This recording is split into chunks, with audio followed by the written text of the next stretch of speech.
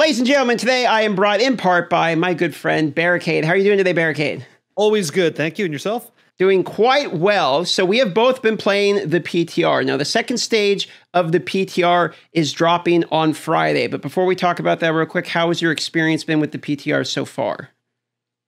Oh, good, man. Couldn't put it down. Um, already clearing pit 100. Um, Sork feels really good. Just excited. Yeah, excited to see what else the uh, the game gives me in the near future.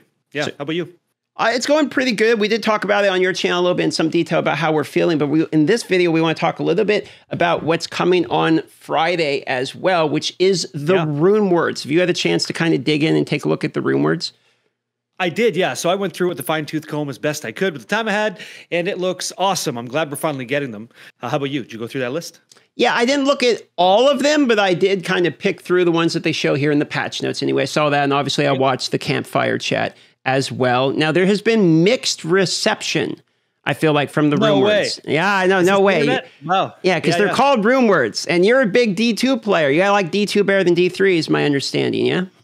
Yeah, it's not even close. Yeah, yeah, yeah, yeah. So, so let's talk about the mixed reception. So, from my opinion, I'm glad Diablo 4 gets it. We've opened the door now. And so where we go from here is up to us as a community to give our feedback, uh, what the devs started with. I'll, I'll just, I guess we'll kick it off here. I'm not a big fan of cause and effect. What do you think about that? Like, so you're saying you like the generator thing, where you have a generator that makes Here's something. What I say. Then yeah. These are just Vaal skills that have Path of Exile. It's what they are. You use a thing, you get the reward, you use the reward, you go back in, fill the meter up, right? So it's builder spender. And we see that in Diablo, uh, World of Warcraft with like every class has a resource builder spender, and now it's happening in Diablo. So there's ways to do it already in Diablo 2 where you didn't have to do that. You just got the thing, right? Like you just got the barb power, you just got the sork power. So the whole like as an example Bac Jah if you put these two things together travel five meters get some offering get enough offering you could teleport. Like it seems like a cooldown based system where a game like path of exile isn't. It's more rapid more instant. Like they don't want to do cooldowns. They want you ready to rock and roll at a moment's notice. I prefer that but now the door is open for rune words. So you chime in. Tell me what you think because i'm just so my initial my initial feelings when I saw him was like pretty positive. You have to understand, like I wasn't an Yeah. OG D two player, so I don't really have this feeling of like what rune words should be. I just see a system being added to the game. And one of the things that I have thought since the beginning is we probably need either more progression systems or more ways to have depth to it. And I thought by looking at this that this is one way to add an additional layer of complexity to the character. So my initial impression upon looking at this is was pretty positive, to be quite honest with you. And then I saw a video. I watched a video by uh, I don't know if you watch Mr. Llama. Okay, but fantastic, Mr. Llama, yeah. fantastic fellow. yeah. I love Mr. Llama. So I was watching a video. It's called "The Haters Guide to D4," where he just talks about how like uh, the rune words are not what they originally were. Where you're like building these Right. cool items and scaling towards Enigma, and how the items Yeah. are you know the rune words you're trading for other random rune words. There's not like a hierarchy of rune words. So I thought you're you play D4, you like D4, and you also you know you play D2 a lot. So I thought getting an opinion from someone who has you know kind of been in both of them would be Okay. rather interesting. But for me, I've been pretty positive. I mean, it's it's an additional thing. Maybe they're not what rune words were, but it's an additional system, and I like that. Yeah, they're not. They're not what rune words were. So, and, and I'm glad you like it. I like it too. Um, in this case, more is better because I, I'm glad, like I said, the door's open. We have the system now. So, just for anybody that might be a little bit foreign to it, okay? In Diablo 2 back in the day, you would create a rune word. So, you take these these stones, right, that you'd find by killing, de- go up to a demon, smack him in the face, he drops a, a rune. Cool. You pick it up, you store it in your stash, and off you go. And if you got enough runes, you could create rune words if you found out what the sequential order was that you combine these things, okay? And the cool thing about Diablo 2 is you could make a huge mistake. You could put the sequential order wrong, and next thing you know, you have no rune word. You bricked it. It's literally two stones in your armor, and it sucks. But in Diablo 4, they said in the uh, the campfire chat, you can take them out and trade them as much as you want. Yep. So there's not really the repercussion. And there's so many like I call it like the, the ice skater kind of thing, right? We all like to watch figure skating and stuff, and sometimes they fall down, and that's fun to watch. It sucks for them to fall, but it's cool to watch. And so when we're streaming or content creating, people would make the rune word wrong, myself included, and it's just it's such a holy shit, like egg on your face moment. But that's the cost of doing business with rune words, right? If you get it right, you can have a really cool item. If you get it wrong, why didn't you just take two Now, more minutes a- to make that? Yeah. Here's a question on that point I want to ask you then is the the tempering bricking by tempering is another way to get it wrong, but not because of decisions you've made, I'm assuming. So do you feel like the tempering getting an item brick feels entirely different than you accidentally yes. messing up the rune words? I'm assuming you like like the potential of mess up the rune yeah. words, don't like the potential of bricking. Well, like, well, like yeah, so like in tempering, like I didn't get to choose what the result was and made a bad choice. But in rune words, when I'm putting that stuff in, I did it wrong. It's like so I I'm the I'm the one that bears the burden of choice, right? RNG, it's kind of here's what you get hope you like the, the restaurant's menu, you know? And so they're not exactly the same. But in Diablo 4, it's a lot simpler. You have two slots on your gear two in the helmet, two in the chest, two in the legs, two in the weapon if you have two handed weapon. And that's kind of what you do. The game in Diablo 4 at the moment doesn't allow you to have two one handed weapons to have like uh, rune 1 and rune 2. And they can also make a rune word because they have to be together, I guess. So that's that's interesting. Um, like I, as an example, uh, feast and famine, right? If you had one rune called feast, one rune called famine, you could get it. You could get a player power there. The game's not like that yet. Yet, I hope it go, gets there. Uh, overall, runes are sick. Glad they're in there. It's a starting point, not the ending point. I hope, and I'm willing to test it before I give it too much judgment. But uh, it is not the same. But really quick on that to put a little button in it. It's like I don't just want Diablo 2 rune words again either. I want a new game. I want a newer version. I could go play Diablo 2. I could go play Diablo 3 and I could also play D4. So it should be modernized and should be interesting. And we're going to find out, I guess, if it's interesting enough. So speaking about finding out, the expansion is coming out here on no, uh, excuse me, October 8th. I almost said November 15th. That'd be a different game. Something else. Yeah. That'd be a, yeah, yeah, different release, I suppose. That's another. Yeah, big beast. Yeah, yeah. We did have a chance to play, and we played Spiritborn when we went yep. down there and tested it out. And your experience of Spiritborn, I don't think I've had a chance to really talk to you about. We talked just a little bit about it pre- previous, but how did you feel about the Spiritborn testing? And are you looking forward to that for the expansion? Uh, yeah, of course. There's so many things coming out with the expansion. The PTR kind of highlights that very well. Like if you think about it, we're just testing what we're getting some new uniques, we're getting some some new dungeons to run the PTR. But to get to your question, there's so much more stuff: Dark Citadel, Undercity, Rune Words, Mercenaries, raid bosses. Like it's crazy what we're getting. There's a lot of game there. Um, so did I like the Spiritborn? Yeah, I did. I think that the flashiest version was the Eagle Jaguar combo. That just felt good. I tried to make Gorilla. Dude, I spent most of our time playing Gorilla. And I tried to make something pop and it just didn't. And I was like, this feels bad. But I bet you Gorilla is the best class for the end game pushing because of its tankiness and the ability to like um, take damage and deal damage. I bet you that's that's gonna be very good. And then I played Centipede, and I'm like, this is just insane. I looked over, I had Moxie sitting beside me. Actually, I was like, have you seen this? He's like, yeah, I've been playing it already. I was like, oh, I didn't know. Like, I just didn't know. I thought Eagle was the Chad. It's like, no, Centipede was the one because it was overpowered when we played it, right? So, do I like Spiritborn? Yeah, I think it's one of the fastest classes, or will be the fastest class in the game. I think it's going to deal the most damage. It's like the new Power Ranger, right? It's going to be flashy. It's going to be cool. I got right? Power Ranger vibes too. You have like the gorilla, you know, jaguar, yeah. eagle. It's you kind of had the different themes around it too. The one of the things yeah. that's coming with the expansion that's that I'm looking forward to is the Citadel. Originally, they said that it was going to have exclusive rewards, and I thought that that meant, speaking of bricking and tempering, the retempering scrolls. But then they clarified that those scrolls can actually drop outside of the Citadel. So, from yeah, my understanding, the new like in-game raid content, the only exclusive rewards I believe are cosmetic only, is my understanding. Yeah, I, believe so because this, if that's not the case, it'd be the first situation in Diablo 4 where you had to go to a specific place to get specific loot. Right now, if I think about it, you can get that anywhere, anywhere. Like other than the butcher in the open world who drops his cleaver cosmetic or whatever, but even that, like think about it. Where do you go in the game to get any unique? Anybody can drop it. So why would the Citadel suddenly be different? I think it's cosmetic only. Yeah, I think so.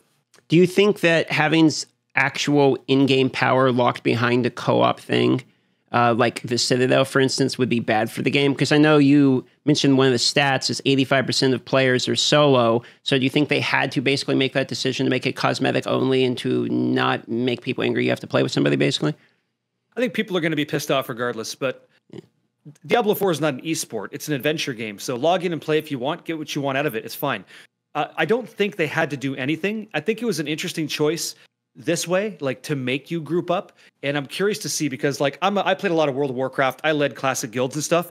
But even with my entire WoW career, like the most fun fight was Var, uh, Lady Lady Vashj in Serpentshrine Cavern, passing the orb around and me relying on you to grab it and do your part. That always felt good. And so seeing how that works in Diablo, I'm down to try it. Uh, again, I don't, I don't know, but it seems exciting and fun to make me group up with you. I know what's going to happen, man. Like what what happens in like League of Legends and stuff, right? There's going to be some elitism, some toxicity. Like, yeah, and with Party Finder, so now it's you're actually going to be able to get like randoms. So you get a random Yeah. guy with you, and maybe the random guy sucks, sit it out, Yeah. and you're going to end up flaming. You know what I mean? It's going to be one of those.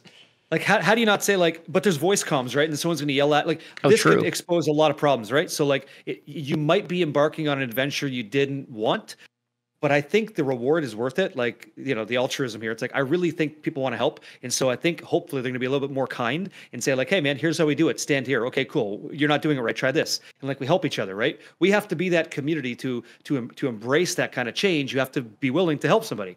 So don't flame, man. Don't flame these people. Help them out. Just try. Try to be productive and positive and see if you get that cosmetic. So again, don't want to like circle the question too much, but I'm down to try it.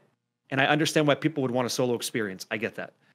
Yeah. I get it, but I'm also kind of glad that we are getting more things that encourage teaming up like Party Finder because I feel like Diablo 4 was originally marketed as like more open world, more MMO-y. You know, maybe not necessarily a MMO, but it was marketed more as a way of having a more interactive world and running into other people. But then the reality is most of the time it just means a 5% experience boost because you're near somebody killing the Blood Maiden. So That's same. I agree. Like when I got in Diablo 4, I wanted to be riding on a horse and press that dismount attack and help a barbarian kill a demon. Like that's what I thought I was going to play, right? And it's it like you say, it's not really that way. So this has to be that way now because you're not getting through that gate unless someone steps in the box. So yeah, like it, it it's it looks good. It looks good. Let's try it and see where it goes for sure. So one other thing that is typically multiplayer esque is leaderboards. Like there's leaderboards in D three. D four is sort of going back to the D three roots. We basically have legendary gems in the game now with glyphs, etc. So Yeah. leaderboards around the pit is something that keeps seeing get shown up in comments where people are like, "Why don't we have leaderboards and you know one, two, three, and four player leaderboards?" Do you have a take on leaderboard? Do you care at all about leaderboards? Are you one of the people that that So- cares about having them? I, I am a competitive guy. Like I want to try to push myself to be better at my class and min max if I get the opportunity, right? Do I care about leaderboards? Yeah, I think they're good. Like Diablo 2 had leaderboards. I was never first, but I like to just give me a reason to play, get get on there, get a number, right? Just because like I'm a seasonal ARPG guy and it's fine. So do I think the pitch should have leaderboards? Yeah, I think it should. But I also don't want my game of Diablo 4 or your game to become an esport. Like so that's a hard balance, right? Like I don't think that that's the move, and I and uh, I hope it doesn't go that way here. I don't think it will, but um, Well, what I liked about the leaderboards the most was you were able to you were able to look at people and like see the items Yeah. they were wearing. So I didn't even Yeah. really ever use the leaderboard as much as like, oh, he's higher up on the board than me. But like I would just be like, what's this guy wearing? Like he got up there how like did he get there? Yeah, and be able to look at the equipment. It's almost like a not like a build guide, but you know, you could kind of pseudo get a take of what people were. and it's kind of refreshing because like you only know so much of of what your character could do based off your experience if you didn't look at a guide. So Yeah. when you right click on that profile, you're like.